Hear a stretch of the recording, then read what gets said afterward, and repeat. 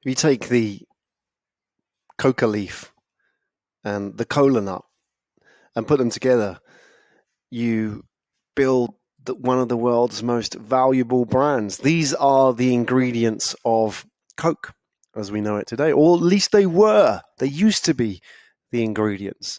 So the coca leaf, obviously, with a dubious association with cocaine, and the cola nut. These are stimulants. And years ago, when Coke was sold as a tonic, it contained these stimulants, and it was sold in a way to, um, as you would sell medicine today. So the original Coke was sold as a cure for all kind of illnesses and disease, like you're tired or you know you had some sort of stomach upset. And interestingly, the, there is a stomach condition known as dyspepsia. So it's no coincidence where you can see where that name went, dyspepsia. So in the early days, Coke and Pepsi both had these ingredients in them. And you know, I, I remember my mom saying, uh, like, if you had a upset stomach, drink Coke. And um, I, I, think it was her dad actually that I remember first ever hearing that from. He said, like, if you've got an upset stomach, drink some Coke. So, you know, he would have been born before the Second World War, right? So he, I think, you know, when he was drinking Coke, it, it, at that time, it didn't have these ingredients. But his generation may have inherited that from their parents. You know, maybe the parents of you know World War One, know, the early 1900s, when they bought Coke, maybe it had these ingredients in it. Um, but now they don't. Obviously, it's illegal, and now Coke and Pepsi are just fizzy water with sugar and caramel and carbon carbonated water and caffeine in them. They don't have these ingredients anymore. But the, the story of of what they do is persisted, right? And this is really important for business storytelling is understanding the difference between what you make and what you mean to people. And I want to teach you this today and how you can use this. And there's some simple techniques, and this is not a long lesson. So, really, just some simple techniques today.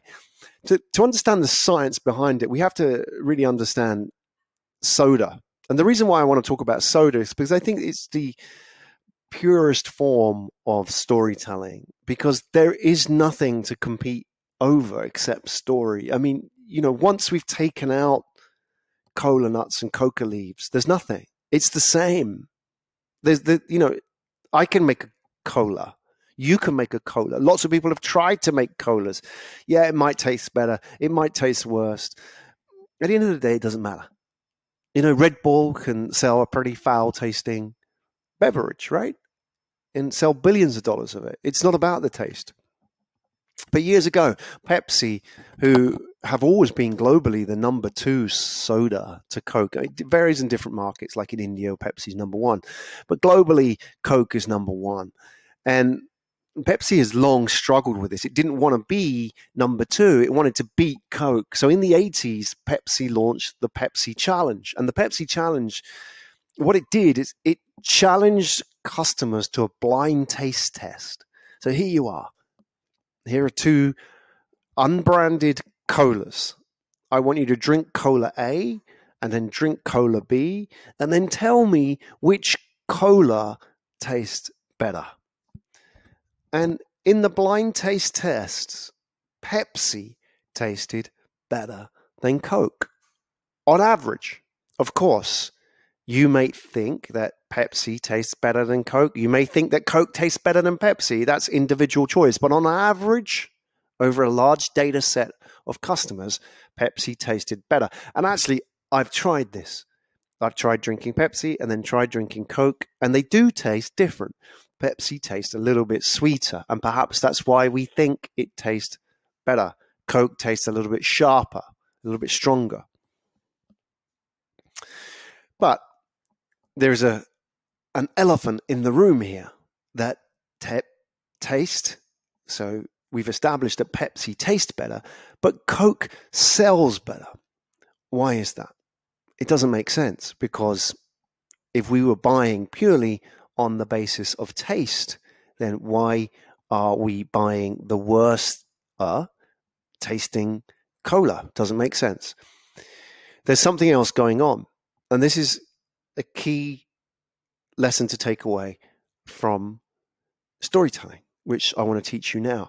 And the insight to this lesson comes from some neuropsychology, so study of the brain. So neuropsychologists studied this Pepsi challenge, and what they did was they gave students unbranded cola A and unbranded cola B, and they repeated the experiments of the, the marketers years earlier, and they found indeed that Pepsi was preferred over the taste of Coke.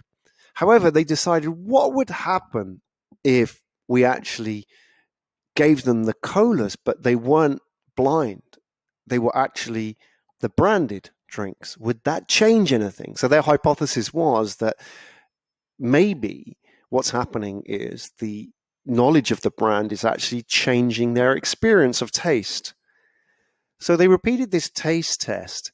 And at this time, it wasn't Cola A and Cola B, it was Pepsi and Coke. And interestingly, what they found was the same colas, but people said they preferred the taste of Coke by a factor of four to one. Think about that. What has actually happened is the knowledge of the brand has changed the neuropsychological experience of the product because the taste has actually changed in their brain. And if there's one thing I want you to take away today in storytelling, is that people don't drink the soda, they drink the can. And what I mean by that is they consume the whole package. And the whole package is the story. And if we want to break this down for the purposes of being able to use it, this is the difference between content and context. Content, what you make for them, and context, what you mean to them. Of course, you need content. Without content, there is no context. But people don't buy content. People don't buy insurance policies. People don't buy cola. People don't buy smartphones. They buy what it means to them, what it does for them. People don't buy stuff, they buy what stuff does for them. What does this do for me? That's what I'm buying. I'm buying the fact that this protects my family. I'm buying the fact that this makes me belong to a group of people. I'm buying the fact that this helps me connect with my friends. That's what I'm buying, not the content. And what you can do in business storytelling is identify content and context. And I'll show you an exercise in a minute about how you can do this. And once you identify content and context in your communication, what you need to do is obviously you have to have content, but what you're really building in your story is around the context. And there's a reason why we need this more than ever. And this is what is happening around us all today. It's like, you know, if you went to business school, you, they taught you about barriers to entry. You know, you've got barriers to entry like control of the factors of production, labor, brand, etc., etc., distribution. These are all barriers to entry that they taught you in business school. But what's happening now in business is all of those barriers to entry are being destroyed. This is the end of quality. And what I mean by that is that everything now delivers quality. So every supplier has got access to the same distributors, the same products, the same algorithms. There's no better way of seeing this like in the ride sharing market. Excuse me. Here in Singapore, for example, Uber and Grab, two competitors, taxi ride sharing businesses, have offices right next to each other. I'm sure that they compete for the same people. I'm sure that they've got access to the same knowledge about machine learning algorithms. And in fact, if you go to the hawker centers here in Singapore, where you can buy local food, and it's a very Singaporean experience. You see them all over Asia, these hawker centers. You can go to a hawker center, you can have chicken rice, you can have masala dosa, idli sambar, you can get kopi si kosong, you can get kopio, tesi, whatever it is. Now the point is, is you can go there and you can order food via your Grab app or your Uber app, your Uber Eats app, your Grab Eats, or your Deliveroo app. You can get it from the phone. You can now. I can whilst I'm talking to you, I can order food. So if I open my app, I open Deliveroo, and I scroll through the app, and here we go. The first I've got Starbucks here, right? So 15 to 25 minute wait time. I can order anything I want from Starbucks. Now, if I was to open the Grab Eats app, and if I open that up now, what I see is that it's exactly the same. If I open up Grab Eats, open up food, there's Starbucks, right? Right there in front of me. So, isn't that interesting that all of these companies are on the same platforms and you go to these hawker centers and you can go to uh, the stalls and you actually see the delivery bikes parked outside. And what makes this even more interesting is you, it's the same delivery drivers. They've got two boxes, one for Grab, one for Uber on the same bike. And it may be Grab, Uber, Deliveroo. They maybe have three boxes. It's the same delivery drivers. They're picking up the same food and they're delivering to the same customers on the same distribution channel using the same technology. So, what is differentiating Uber and Grab it's not their logos. And Grab and Deliveroo, if you look properly, have very similar. Grab and Deliveroo are both green. Go figure. And this is happening everywhere. It's not just food. It's not just taxis and ride sharing. It's happening in insurance and it's happening in banking and it's happening every single industry we thought was untouchable is now being subject to hyper competition where it's less about your ability to open retail stores or less about your ability to get people on the ground or less about your ability to deliver products. It's more about your ability to solve customer problems. The only thing worth competing for. And we are now in this promiscuous, this platform promiscuous world where we used to compete on the basis of asymmetry meaning that you had access to stuff that I didn't have access to. You had access to information I didn't have access to. You had access to stuff that you dug out of the ground and you built a fence around it so I couldn't get access to that, right?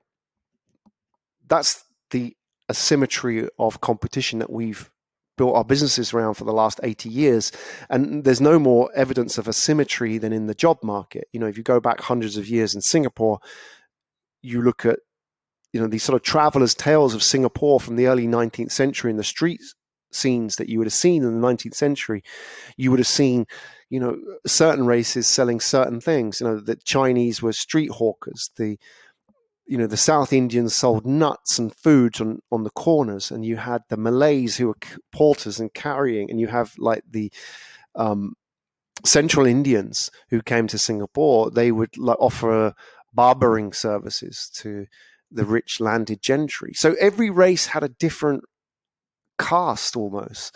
And that's been with us for a hundred of years. And you know, when you think about engineers, you think about Germany. And when you think about startups, you think about Silicon Valley. And when you think about bankers, you think about London. But that's all changing now because China is producing many Silicon Valleys. And there are more machine learning engineers in Bangalore than there are anywhere else in the world. And banks can be anywhere. You know, some of the most exciting banks are here in Singapore, these neo banks, digital banks, digitally native banks. So asymmetry is dead.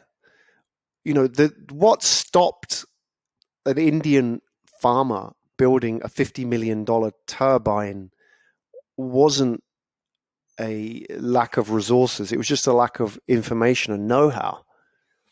And now, you know, an Indian ag tech company can raise money and create a, a billion dollar startup potentially if they have the right support. So what this means is that all of our business communication for many, many years has been based around content because the content was we could protect it. We owned it it was what made us unique. Our, you know, but now there's everybody's got the same content. You know, you can't sell the ingredients of your product. Nobody cares because I've got access to them as well. I have access to the ingredients you have access to. And if I don't, someday somebody will. if you look, for example, at SaaS, like software as a service, uh, great examples that many years ago there used to be SaaS companies that were in the cloud and their competitors used to be on CD, but not anymore. They're all in the cloud now. So the whole idea of competing on content, i.e., that we are cloud and you are CD, is gone. So what now needs to happen is the business communication needs to upgrade itself and communicate in that form, which is like okay, we're not going to sell this idea of cloud versus non cloud anymore because that's gone. We're going to sell this idea of context, which is like we understand your pain and we understand that we are the better solution. We're creating a better solution for that pain than the next guys, right? Because we have been listening to you and your user storytelling, and we are communicating back with data story. So what I want to do now is break this down. So when you're talking to people, when you're presenting, when you are trying to get influence and action in teams, communicating data, um, presenting. You understand the difference between content and context. You take a take a piece of paper and draw a line down the middle. And on the left hand side, put content. On the right hand side, put context. So content is everything that your product is. It's a policy. It's a cheap policy. It's got good experience. It's online. It's digital. This is all content. This is what it is right? And then context is what it does for people. Like, okay, I trust the guy who's selling it to me, um, or it speaks to me directly. This this life assurance policy is is tailored for me. I get it. It's you know it's only ten years, so that's what I was looking for. I was just looking for term cover, right? And that that's exactly what I want. It's not like giving me like fifty years potential span because is that is this for me? I'm not sure. Is this supposed to be for me? Am I supposed to be buying this life insurance? But yeah, this one speaks to me, right? That's context because it, solves my pain, and my pain is fear of making a mistake. Like if I buy this product, am I buying the right product? Was it supposed to be for me? So the context is is that speaks to them exactly to the direct speaks to your customer directly, and then what you've got to do in your business storytelling is focus all your energies on context focus all your energy on emphasizing the context of what you do and only a, a, little bit on the content because that is the part that everybody can copy. But you can't copy the context. You can't copy story. You can't copy relationships. You can't copy individuals. So when you tell your story i can't copy that. When you share your anecdote of your interaction with your customer i can't copy that because it's you. Now, so the challenge for us is using this.